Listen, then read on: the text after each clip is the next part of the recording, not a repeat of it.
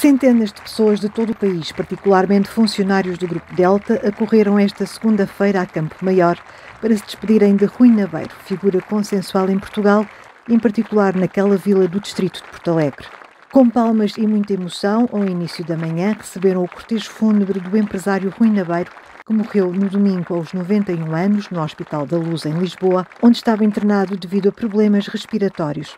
O cortejo fúnebre rumou para o complexo fabril do grupo, onde se situam a fábrica Nova Delta, o Centro de Ciência do Café e a Adega Maior, e percorreu outras unidades fabris do grupo espalhadas pela vila.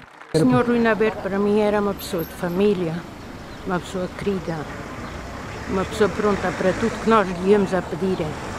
Íamos a pedir emprego, empregou os meus filhos, tem lá os meus filhos a trabalhar. E é uma pessoa que a gente nunca vai esquecer por Campo Maior desenvolveu tanto por causa da empresa na beira. Porque aqui em Campo Maior costuma-se dizer que não há fome. Graças a Deus agradecemos-lhe ao Senhor que Deus tenha a sua alminha em paz. Como disse essa senhora, era o patrão da nossa casa, era o nosso pai.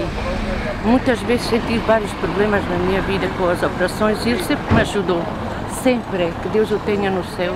E a pedir por todos, por todos tem sido mais que o nosso pai, a nossa Uma terra. Vamos a sentir muita falta, muito importante. é.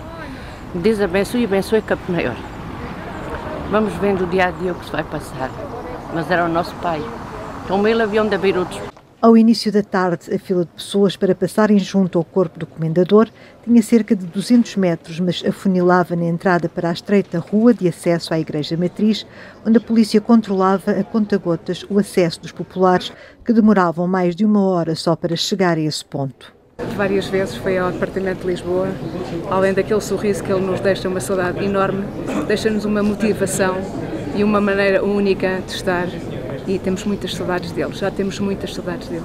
Era um, um empresário que marcava a diferença. Uma pessoa fora de série, uma pessoa que conhecia toda a gente dos nomes, uma pessoa incrível, portanto, tenho muita pena. Veio do Porto, precisamente para para se prestar homenagem ao Sr. Rui Nabeiro. conhecer o Sr. Rui Nabeiro, pessoalmente. Sim, sou funcionário dele Há quantos anos? há 31 anos. Temos que fazer a homenagem, seja de forma for. O Sr. Rui foi, foi uma pessoa exemplar a todos os níveis e eh, uma pessoa super consensual em todas as áreas de- da política, ao desporto e é fundamental que, que nós, neste momento de tristeza, principalmente os funcionários da empresa, que venhamos aqui fazer uma homenagem. Eu acho que não há palavras se calhar, para, para descrever. Né? A que horas é que saiu de Peniche? Era umas nove e meia da manhã. E está eh, à espera de ficar quanto tempo aqui nesta fila? Até, até conseguir chegar lá. O, o tempo que for preciso. Sim. Há uma missão a cumprir. Né? Tenho certeza que aguentar até ao fim. Trabalhei em casa dele 33 anos. Não tinha a dizer mal, só bom. Foi, foi funcionária de- da Delta? Sim, sim, sim. Saí há um ano para, para a reforma. Difícil foi encontrar quem não tivesse tido qualquer tipo de ligação a Rui Nabeiro. Pessoalmente ou profissionalmente, e quase todas as pessoas usavam na lapela um pin com o logótipo do Grupo Delta, que hoje dispensou do serviço todos os seus funcionários. Rui Nabeiro, de origens humildes, tornou-se num dos maiores empresários em Portugal e é descrito pelos habitantes de Campo Maior como uma pessoa simples.